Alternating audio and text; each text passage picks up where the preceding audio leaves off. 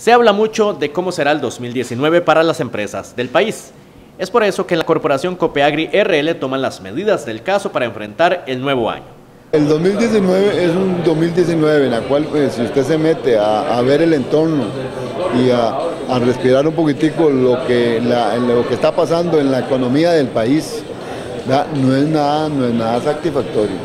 Hay que hacer muchos esfuerzos para poder lograr lo mismo que tenemos. Yo creo que el trabajo que estamos haciendo desde la Corporación Copeagri, desde una visión estratégica, de, pensando en, proyectar y, programar lo que vamos a hacer el año que viene, lo que son los planes operativos, que lo que hacemos es un presupuesto, es proyectar todo lo del año que viene, pues estamos proyectando que a veces no, no podemos ver de dónde vamos a coger para poder lograr algunos resultados.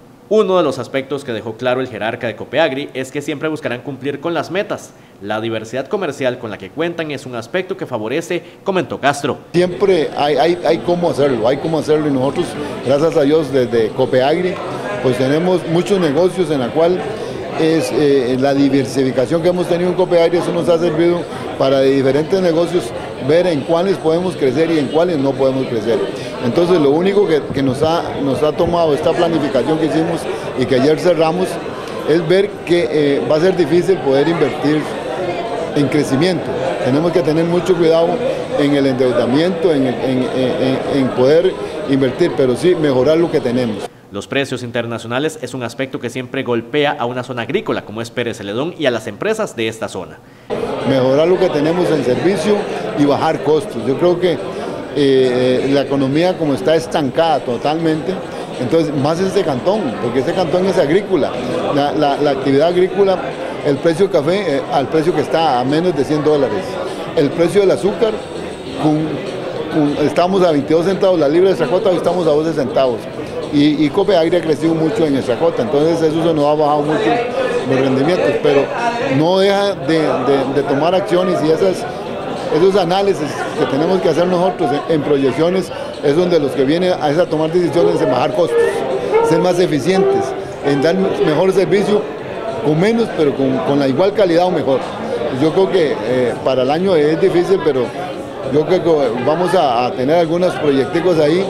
Nuevos proyectos se convierten en la gran esperanza para tener recursos frescos dentro de una cooperativa sólida como es Copeagri RL. Del NAUS, que es un producto muy, muy bueno, en la cual es un proyecto en el cual nosotros tenemos una expectativa muy grande de ver que sea un proyecto que nos venga a generar servicios y beneficios, que es lo que buscamos nosotros para la cooperativa. Porque eh, el NAO es un nuevo producto que viene, que viene a, sacarnos, a quitarnos un costo que nos da el tratamiento de las aguas, de las aguas del café, las mieles del café, el tratamiento de las mieles de café, que tiene un costo en lagunas, en todos sus tratamientos, se nos viene a convertir en un ingreso para, para, la cooperativa y para el productor. Entonces yo creo que esa, ese nuevo producto que, si Dios quiere ya iniciamos el año que viene, pues estamos muy esperanzados de que nos venga a ayudar mucho en la generación de recursos, en la generación de, de hacer un equilibrio financiero de la empresa. Un año complicado, pero que se tiene que enfrentar con positivismo. Ese es el panorama de cara a 2019.